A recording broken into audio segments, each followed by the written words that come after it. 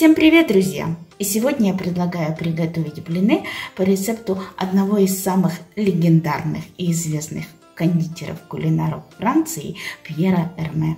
По этому рецепту блины получаются по-особому нежными, эластичными. Посмотрите, какие они замечательные сегодня у меня получились.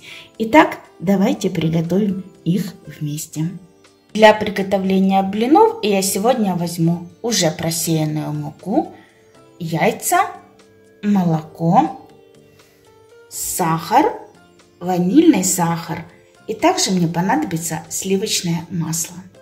В начале приготовления блинов сливочное масло необходимо растопить и дать ему остыть обязательно до комнатной температуры. В миску разбиваем 4 яйца. Добавляем сахар. Немного массу взобьем. Взбивать буду сегодня венчиком.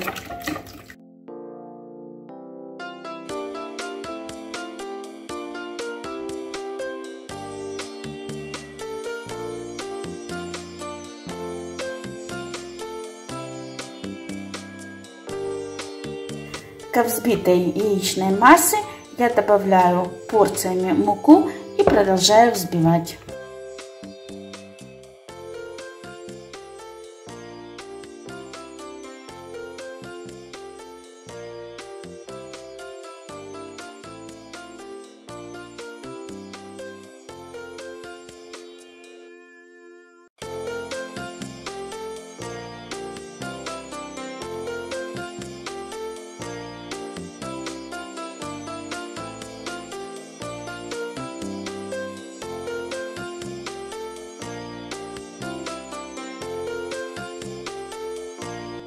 Затем добавляю ванильный сахар.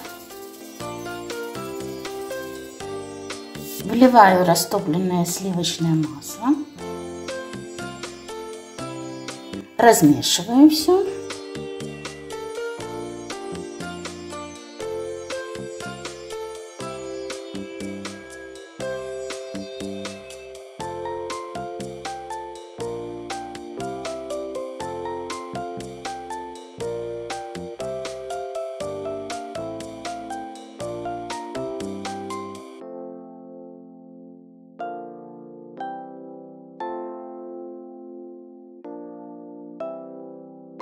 И порциями вливаю молоко.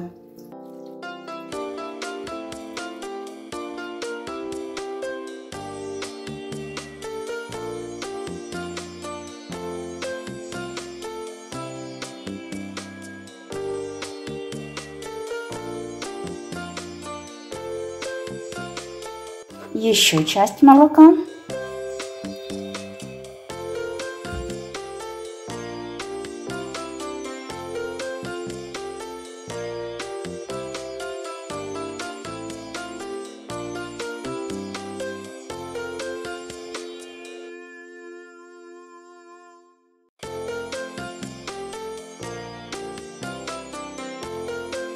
Теперь этой массе нужно дать постоять хотя бы час.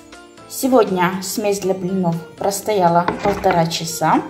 И жарить блины буду на подсолнечном масле. На сковороду наношу кисточкой подсолнечное масло.